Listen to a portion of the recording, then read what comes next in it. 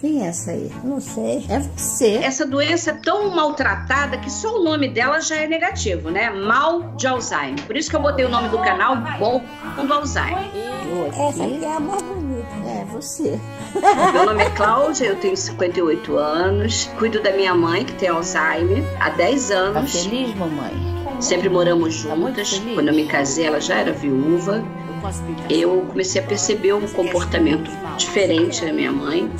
Ela inventava algumas situações, eh, começou a ter implicância com algumas pessoas. Quem é? Sua sua irmã? Não. E aí eu percebi que alguma coisa muito séria estava acontecendo, mas eu não conhecia a doença. A pessoa acha que o portador de Alzheimer morreu para a vida.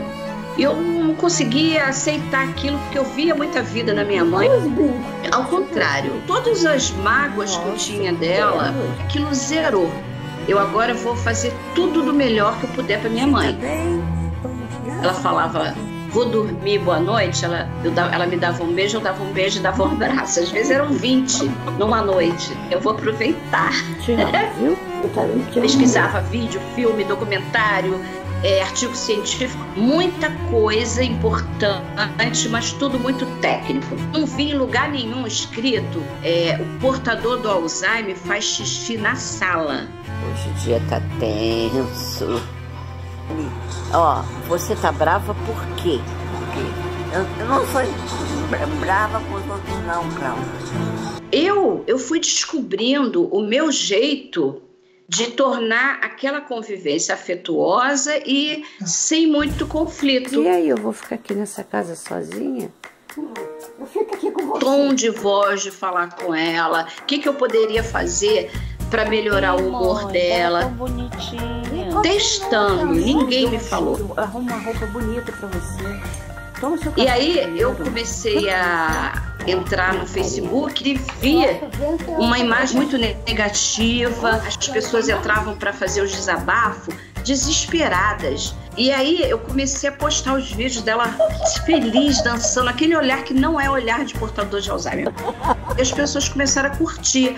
Olha, rebola, bola, bola. Eu vou fazer então um canal. Nem tinha noção do que ia acontecer ali. Comecei a postar os vídeos não só do cotidiano, mas comecei a falar, fazer vídeos informativos. É sobre como eu descobri que a minha mãe estava com E aí, ó, né? Pum, verdade, foi, foi quando eu fiz um vídeo. é, esse vídeo tem mais de um milhão de visualizações. Eu fiz contando os primeiros sinais. A plaquinha da Francisquinha. Eu comecei a receber mensagem das pessoas agradecendo, pedindo ajuda. É, muita gente falou que não sabia o que era a síndrome do ponto. Eu vou ajudar essas pessoas. Ela jogou o controle dentro do vaso, que as gente. pessoas entendam a doença, Eu não sei se eu vou aceite ficar e saiba conviver, que vai ser melhor para quem cuida e para quem está sendo cuidado. Que ninguém tem pena dela, que todo mundo tem amor por ela, respeito. Todos os dias eu acordo ela com abraço, beijo, bom dia, meu amor. Gente, ela se emocionou. É isso que eu acho que substitui a memória passada, porque ela não tem mais, então todo dia vamos fazer uma história nova.